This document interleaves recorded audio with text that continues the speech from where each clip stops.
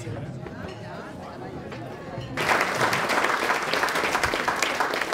you to all panelists for very interesting uh, in introductions. I will very short open up for uh, Q&As from, from the audience. I already noticed three people wanting to come on very quickly, and a fourth, uh, I can, uh, and fifth. and I will try to get everybody of you, but as, as I mentioned, I will uh, have to end within 9.15. Uh, so I think I will start with Halvorsen, uh, was the first one. And remember to be speak up and be brief. Please stand up. Yes, uh, thank you very much. I'm an independent journalist. Um, no one of you mentioned the word uh, nationhood. Uh, and uh, of course, China is a nation and China is not a democracy. But what we see in Iraq today, I think is a very interesting example that you cannot build a democracy without having a feeling of being together, belonging to a nation. And the problem with Iraq was not uh, the, that the West tried to introduce democracy. The, the, problem was that they didn't have a feeling of belonging together in a nation. And we see that today. So isn't nation building just as important as democracy building?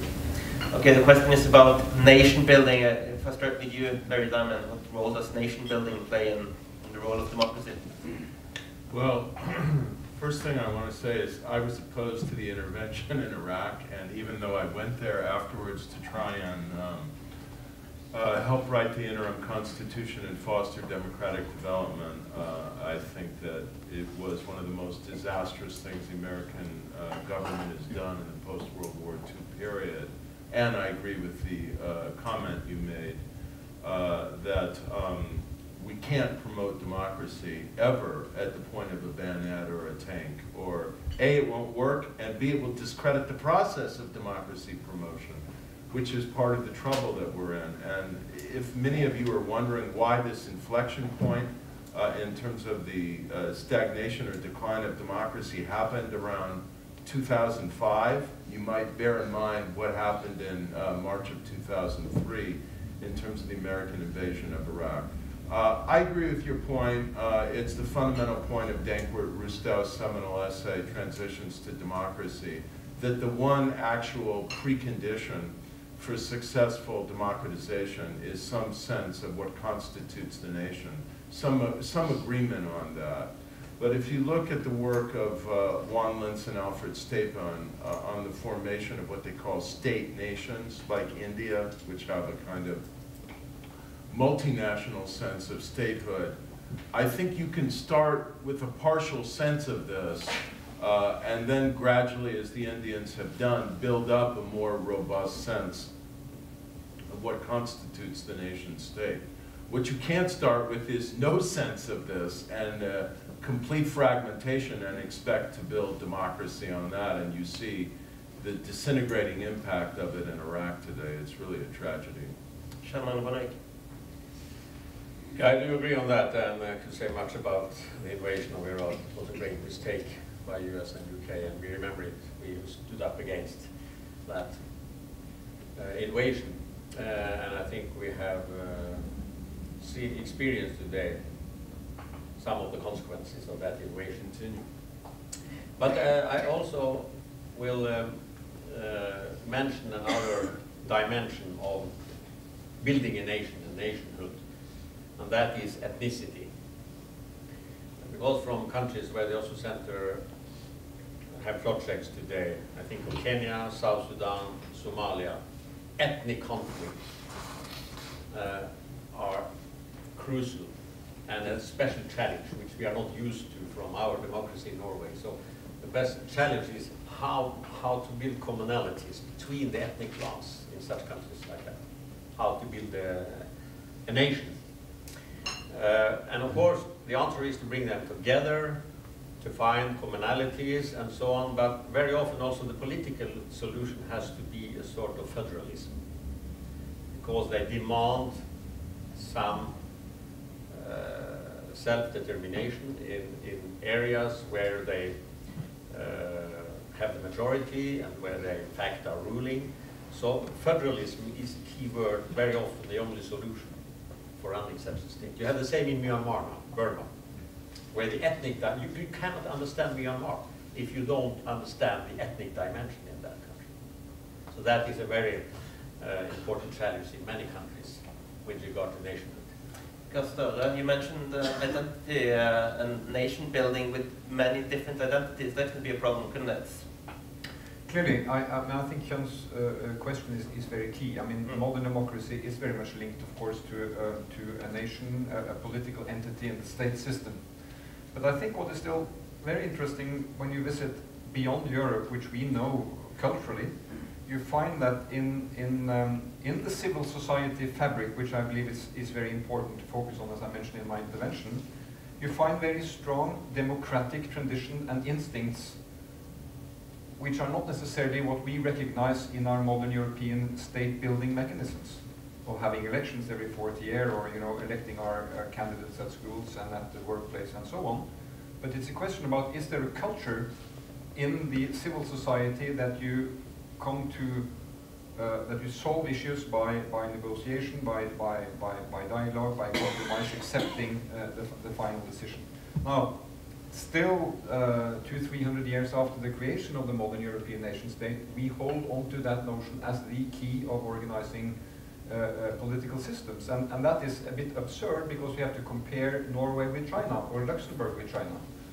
Uh, so I think um, uh, uh, we have to go a bit deeper than that, and, and that our European lens on understanding and, and analyzing uh, democratic functioning has some limitations because you know there's there are very weak comparisons in, in the way states are run, nations are run.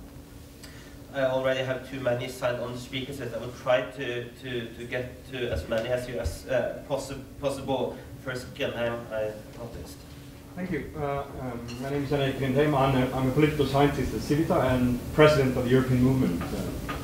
Uh, we had a very interesting um, seminar yesterday with the former Minister of Defense, Volker Rühe from Germany, and Janusz Onyszkiewicz from uh, Poland. And Onyszkiewicz said that the main reason for the problems of Turkey and Russia is that the political system, political culture, is not based on rationality and reason, but on faith. What do you think about that? Well, on faith, the believing in some kind of a, as he said about uh, Russia, some kind of true Christianity, and Putin is the um, the, the messiah of this true Christianity. And and said, said that there were more checks and balances in the Soviet system than there is today in Russia. So, of course, Russia is, is a challenge, and the question is about Putin and, and, and the, the role of faith. Well, I start with you, since Well, uh, about faith. As a believer, I'm in doubt. Not only I'm, uh, since I'm a believer, but uh, well, oh, it, it, to be serious, it is of course very uh, very important to differ between religion and politics. But I can see that as the main problem in, in Russia and Turkey of today. Of course, I, it's interesting because I talked several times with um, now President, former Prime Minister Erdogan in Turkey. He was very interested in the relations between religion and politics.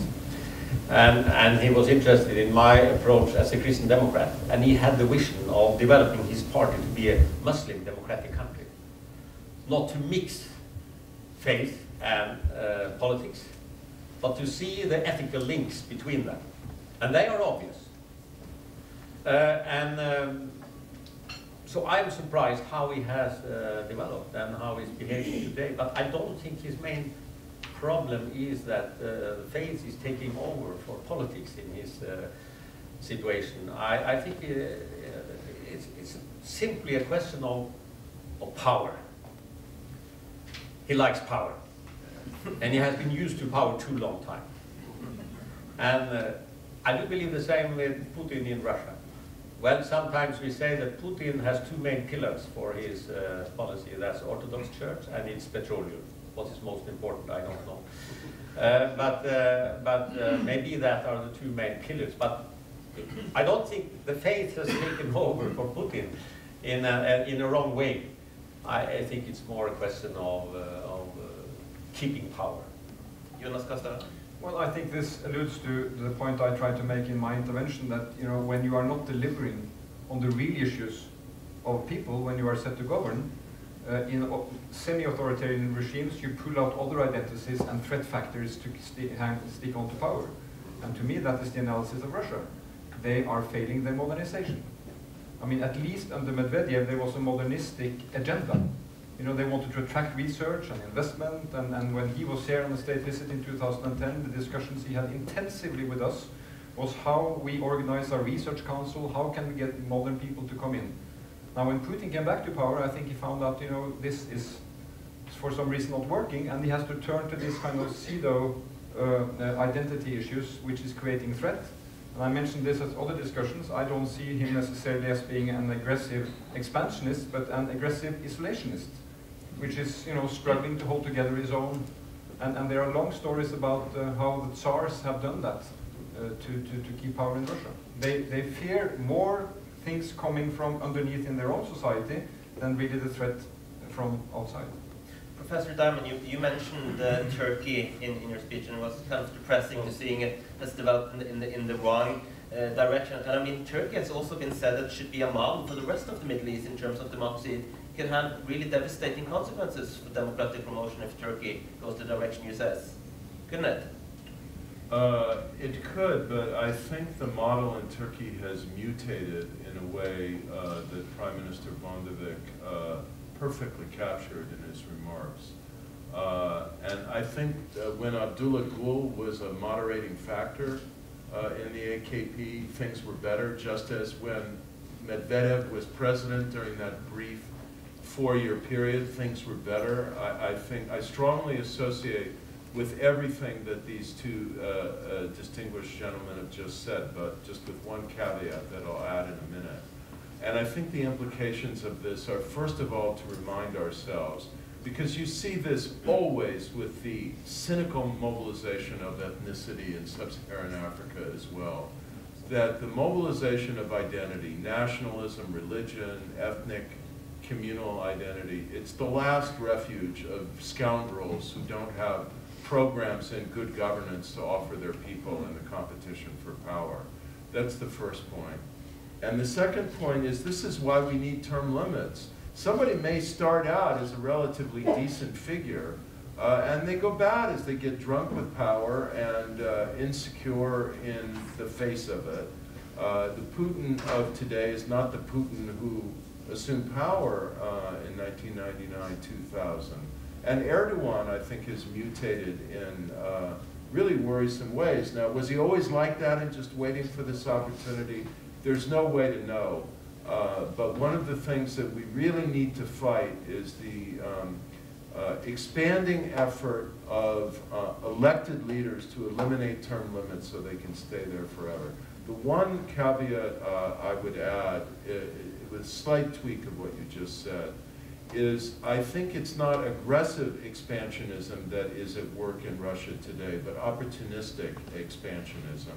I don't think Vladimir Putin has a strategy to swallow up Ukraine uh, that he was waiting to unfold until the right moment or any place else. But he will respond to opportunities and he will exploit weakness, which is why I think refurbishing NATO is frankly an urgent priority right now. Uh, and standing up to his opportunism, I think is an urgent priority right now. And the other tweak is that he, because his system has failed so badly, and because there's a limit to how far he can ride the Russian Orthodox religion itself to the uh, perpetuation and consolidation of his power, he needs the stoking of the fires of aggrieved Russian nationalism to continue to support his political base. And unfortunately, I think this is going to require uh, continued military adventurism in order to do that. And that's a very sobering implication I take out of his invasion of Ukraine. Uh, there was many hands uh, in the beginning. There was somebody in, in there, I think. Yes, you. Please stand up, speak up. Um, as a um, uh, as an American, I, I, look at the EU as an experiment in democratization of, of Europe. And uh, if this was 100 years ago, we might have a war over it at this point. So that's an interesting. So my, my question is, going forward with the, and looking at, uh, as an example of the, the Middle East, for example, and saying Iraq 10 years ago, the invasion was a mistake. Now we're seeing the results uh, or an ongoing policy of an opposite sort of point of view of letting the the uh, uh, events sort of sweep the Middle East, which may take a generation or two to see the results of that. So given that the, the 10 years ago the invasion didn't work, there seems to be uh, a lot of conflict that what's going on now isn't the right course of action as well. What does the democracies of the world do in this instance and going forward from a global perspective in dealing with these issues um, to, to sort of to, to, to help uh, democracies sort of take hold in areas, uh, specifically the Middle East, uh, when you have a situation that's going going now. So the question is about the Middle East. That could, of course, be a, another breakfast meeting and a, and a long, long discussion. But it is an interesting part that most people agree that the Iraq, Iraq invasion was, uh, was, a, was a failed mission. But now nobody's doing anything in Syria, and that is also some round of uh, criticism. So you're damned if you do, and you're damned if you don't. What are your thoughts, uh? Is, is Syria an example to follow for the world community?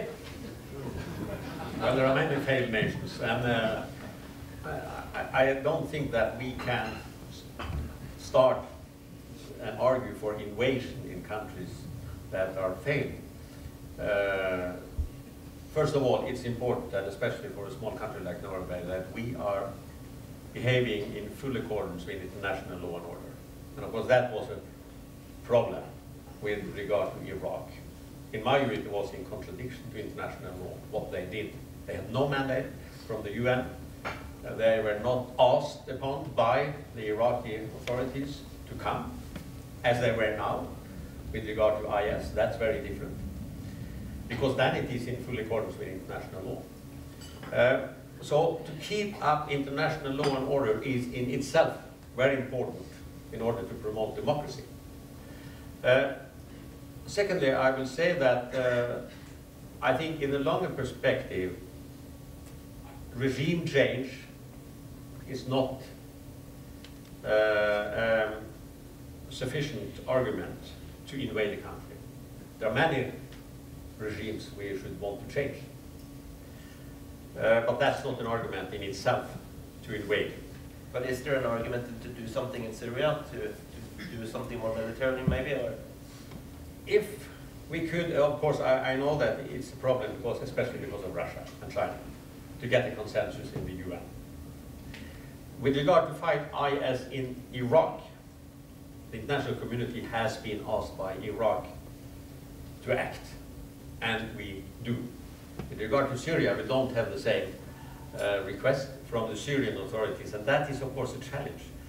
Uh, I, uh, it's a dilemma, of course, but uh, I'm not sure that an invasion in contradiction to international law in Syria will help the situation. Because who are we going to fight for? We know that the opposition in Syria is so fragmented, and there are different groups who will take over in Syria. You, you don't know. So the situation is so complex that I don't think that is a solution. I, I, to, to be honest, I don't see for the time being a clear solution on the Syrian problem. But I don't see an invasion as a solution either. Gahr Støre, any thoughts of the Middle East mm, democracy? Well, um, big, big complex. I think one thing we do learn is if we, if we study the forces that are exposed in these conflicts, we see deep roots. So, you know, you may be tempted to say, well, this is something which uh, has a long, uh, a, a, big anchor, Shia, Sunni, uh, Arab, Kurd, um, uh, and does it does it need to have to be fought out in, in some sense? I think that uh, our participation in, in the current training mission in Iraq is in itself highly complex because it is not, as uh, it was mentioned, Iraq is not one nation asking for help. There are four military forces fighting each other on that terrain, and we are now uh, seeming to end up supporting two of them uh, in some kind of contradiction. So I think uh, clearly invasion is no answer. Who should invade? And I would certainly not be pressing the button for yes, sending troops to invade with. but on that notion, what about Libya? I mean, Norway was part of uh, getting rid of Gaddafi wasn't turned out to be a... Good question. I, I, would say, you know, here you have a generation of decision makers in Europe who have been deeply marked by two recent events in Europe. Srebrenica and in Africa, uh, the massacre uh, of, uh, in, in Rwanda. And here was another probable scenario of another slaughter of civilians. And you had an international mandate to intervene by all necessary means. Okay, one could say this is a bluff. We don't. And I, for one, uh, uh, was clearly, uh, you know, critical to what uh, military might from above could do to really settle issues on the ground. And it ended as it did, and I think it's clear that from the international community there was a complete abandon of responsibility after that uh, intervention. Uh, what that could have been in instead is, is difficult to say because the, it, it is very complex, but I think it simply proves that you know fixing very deeply rooted issues on the ground from high altitude uh, is a tricky issue. Larry Diamond, what would you say are the learnings from the past 10 years Well, in the Arab um, world? Uh, I want to address two points. Sure. Uh, One, the point that was just made about Libya, and then come back to the question about what positively we can do in terms of democracy promotion in the Middle East. So I, I was strongly against the American military intervention in Iraq. I don't disagree with anything that either of you said. I really felt Libya was different. The people had risen up. Uh, there was a revolution underway, and there was absolutely no doubt, let's not rewrite history, that they were going to be brutally slaughtered in Benghazi unless we acted. And let me tell you, the President of the United States, waited till the last possible moment to launch NATO airstrikes. If he had made it 20, waited 24 more hours, it might have been too late.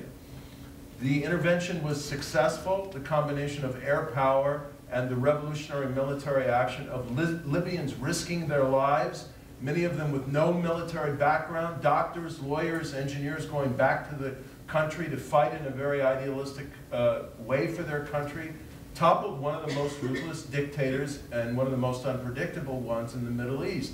And then, you are absolutely right, we walked away. We just walked away from Libya. There was a specific request from the Libyan transitional government to the President of the United States asking for military and security assistance, and from what I know, they got virtually nothing.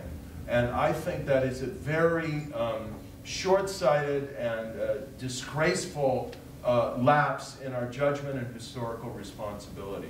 Now, to the question that was posed, Look, the challenge now is not mainly a military challenge. It is in Iraq, it is in a limited way with respect to ISIS, but in most of the Middle East, uh, you don't have warfare. What you have is resurgent authoritarianism.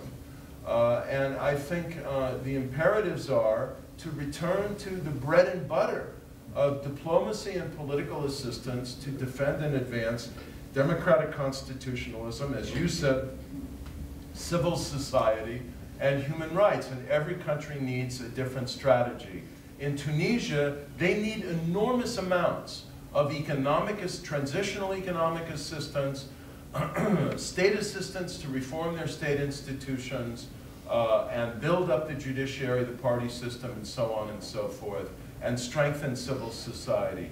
In Egypt, we need enormous collective pressure on a semi-fascistic government that is about to put to death over 100 innocent people, and they've already executed many of them on totally spurious charges, uh, thinking, well, we'll just go along because we need them in the war on terror. Uh, and so we need to kind of buck up our resolve here and make it clear to the military government, let's not forget what it really is in Cairo, uh, that there will be enormous, when it's not going to be business as usual and he can kill 100 more people and then we'll just ignore what he's done. There are going to be lasting consequences to his position in the world uh, if he goes ahead with this and that someday he may be dragged before The Hague and held accountable for what he's done. 30 seconds, Gustav. Yes, Go just on. on, on that last example, um, three years ago when, when Egypt was in this balance, uh, we very modestly organized a trip from Cairo to Oslo with a group of um, Egyptian politicians and, and political activists, ranging from the Muslim Brotherhood through uh, traditional non, uh, secular parties, um, a group of 10, 15 people. They spent a week in Oslo and they visited institutions, parliament, government, the press, um, the ombudsman's office, and so on. And they all ended up, ended up in my office as foreign minister. And they said, you know, they had learned more about each other on that trip than they ever had back in Cairo.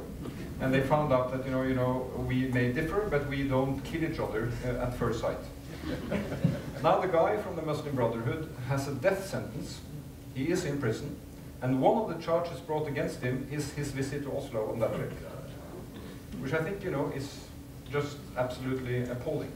And it makes me uh, really sick to think about that he is sitting there, perhaps waiting for that peloton with these charges hanging on his, on his head. We will take two more interventions from, from the audience. First, uh, Stig Arild, and then also notice the lady behind. Then we will end. Stig Arild first.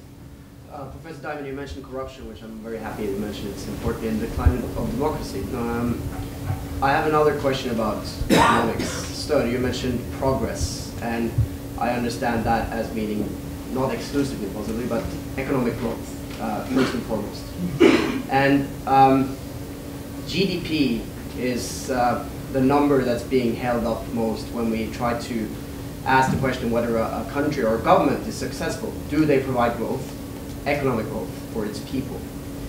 Uh, to what extent do you think that our obsession with this absolutely absurd number, which says very little about human progress, about human development, um, creates problems for the expansion of democracy? So the question about the role of GDP in in the in the, in the, in the democracy uh, discussion, uh, I can start with you, Larry Diamond. What, what role do you see uh, when we use GDP? Is it, is, it, is it a good measure to measure economic growth and the quality of Well, it's, democracy? a- it's obviously uh, a very troubled measure, uh, and you know that or you wouldn't have asked the question. Um, And it's troub- troubling in part because, you know, in some places, it's not that, in lower income countries, not that easy to measure it, uh, and there's a lot of measurement error, but also it tells us nothing about the distribution of wealth. Uh, Look at the, uh, uh, you know, per capita income of um, Equatorial Guinea, uh, which looks like a, you know, middle income or higher country, and look at how the people of that miserable slice of earth are living, uh, and you realize that, you know, most of the oil wealth is, is being absconded with, so it can become ridiculous. I mean, this is why we have the Human Development Index, because it's a much better measure of real experienced and lived uh, development progress. Uh, and so I, I usually kind of favor that in trying to understand what kind of human development progress is being made. One minute. Yeah, this is a, a very interesting question, and it's uh, an increasing international debate how we should measure the welfare state. And, and uh, last week, uh, or two weeks ago, on the Partnership for Change conference here in Oslo, it was a, a speech by Professor Michael Green, who has developed what he calls a social index. Not to replace GDP, because GDP has its value, but it's limited. It's, not, it's saying something, but not everything about the welfare state. So to try to develop a social index in addition to GDP to supplement each other will say more about the quality of a society. That goes on, that has to do with, of course, uh, criteria as health and education, democracy, uh, respect for human rights, and other important issues that has to do with our welfare. So, and, and I know that there will be a debate in the Norwegian Parliament about this as well, because there is um, proposal coming up from some parties that will initiate, initiate a debate about this. It's, it's really timely to have this debate. Go, go Støre, any So just very shortly, on purpose, I did not mention GDP. I, I talked about progress, and of course, being able to continue uh, distributive uh, policies, uh, balancing uh, uh, a well-functioning society is different if you are in, in, in progress or in decline. Now, I believe democracy is very good when you meet tough times, and you have, to, I mean, we basically in this country have been di discussing how to distribute growth. How do you handle distribution of decline?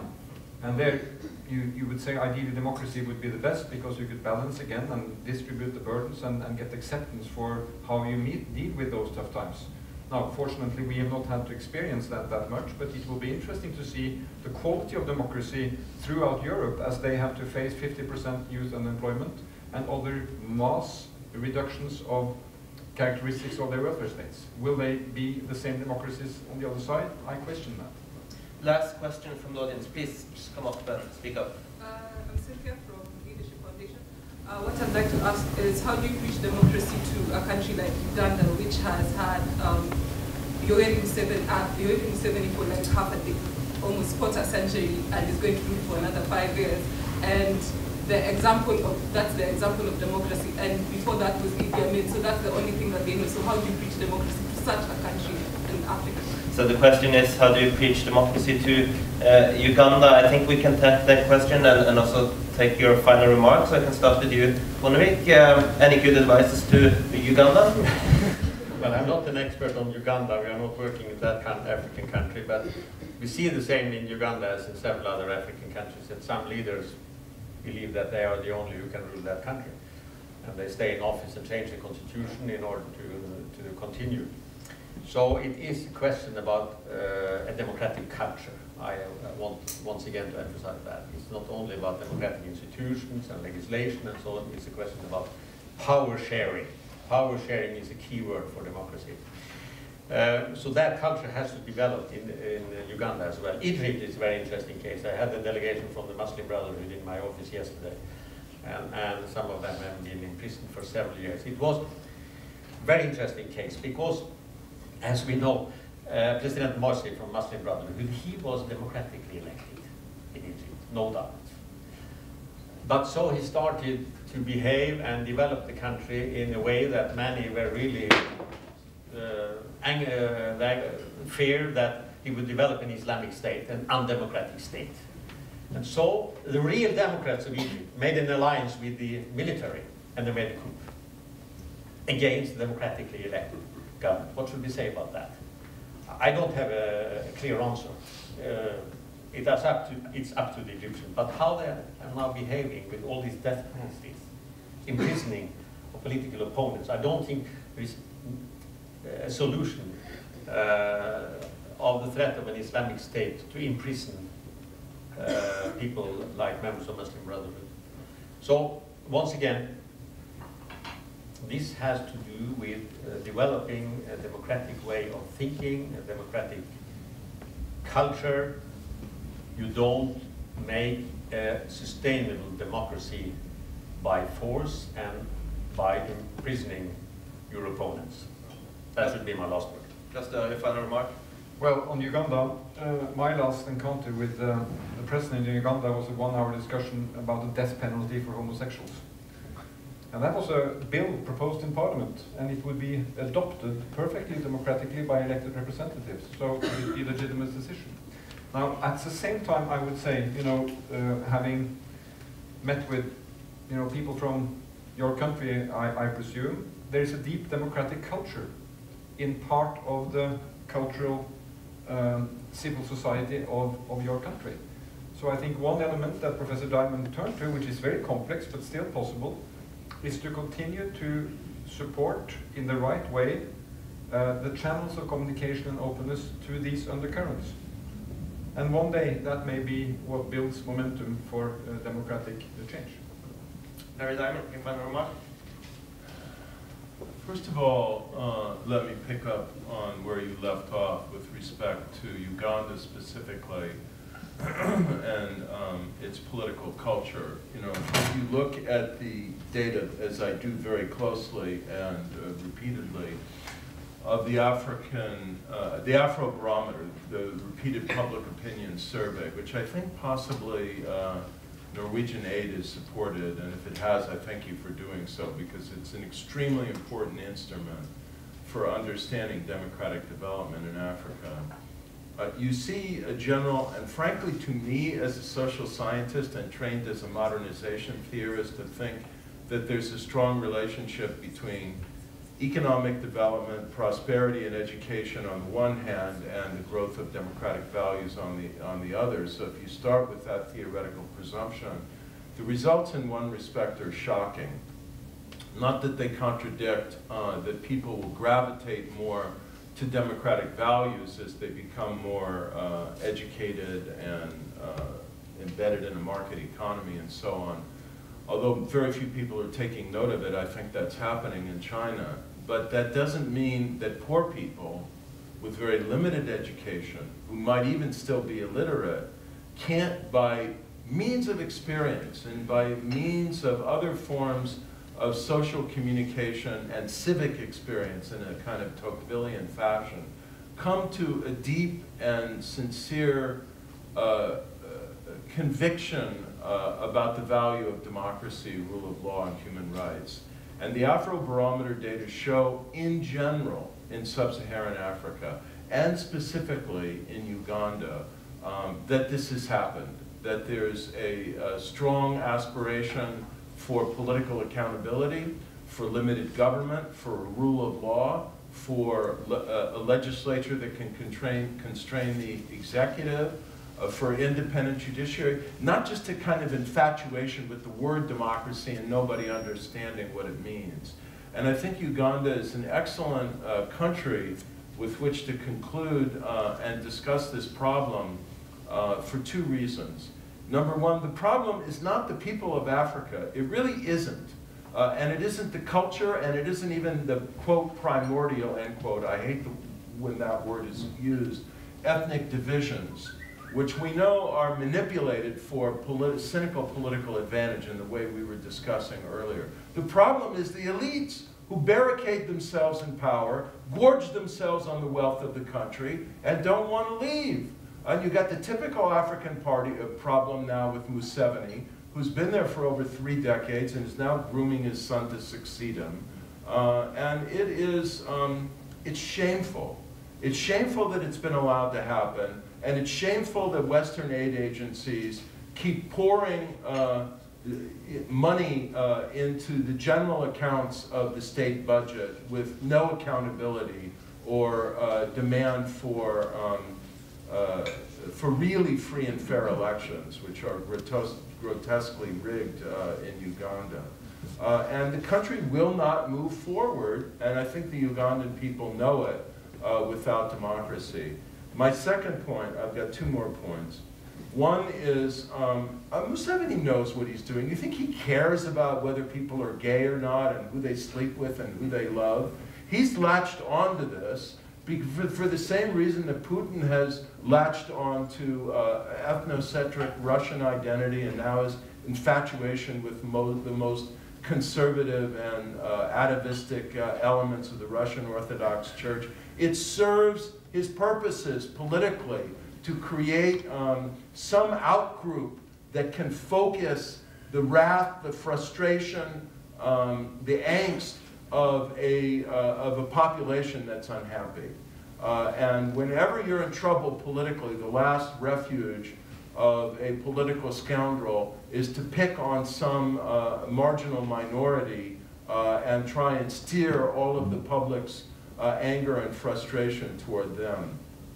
Uh, finally, um, I do want to say, uh, in response to Prime Minister Bondevik, that it is true I think it's unambiguously true, uh, that Morsi was abusing power, number one, and moving very rapidly toward the construction of um, an authoritarian, at least Islamist influenced state, in which the Muslim Brotherhood was going to become uh, a hegemonic power. Uh, I personally think that that was rapidly happening. It was partly a response to what he saw as the insecurity of the situation, and partly a response to the fact that I think he isn't and wasn't a Democrat. And that start, stands in stark contrast to the um, Islamist political leader of Ennahda in Tunisia, Rashid Ghannouchi, who made a series of just dramatically different political choices that helped, that helped to understand why Tunisia moved in a very different direction. Uh, but the two points I wanted to make is none of that justifies a death sentence against Morsi or any other of these individuals, number one. And number two, none of that uh, justifies a conclusion that the uh, secular Egyptian kind of political activists and party leaders who then uh, came out onto the streets, called for the military to intervene, and blessed the military coup of July 2013, that they themselves were Democrats. They were liberals but they're not Democrats. And that frankly, there are precious few Democrats in Egypt. Uh, because uh, the liberal, middle class, secular people, many of them my friends, um, are uh, fearful of the populist majority, uh, as intolerant of the Muslim Brotherhood as the Muslim Brotherhood was of them, and all too willing to bless and ignore the authoritarian excesses of the current government. There are a few dedicated liberals who are deeply committed to democracy, who are in civil society and academia and so on, and it's very important to understand that many of them are in jail now as well, or banned from leaving the country, like my friend who's supposed to be a visiting scholar at Stanford right now, Professor Amr Hamzawy of uh, uh, the American University of Cairo. Uh, and they're in very, very grave danger now. And these are not Islamists. They are, are they're, they're, they're people who identify with our values in almost every respect. Before we give a warm round of applause, let me use 20 seconds to say three things. My apology to the people who didn't come on to the speakers list due to time. Our next breakfast meeting should be interesting for many here. It's about Putin's Russia and how Europe should meet that challenge with Minister of Defense Ine Eriksen and European uh, politicians. And do follow the Oslo Freedom Forum on oslofreedomforum.com. Thank you to the panelists. Thank you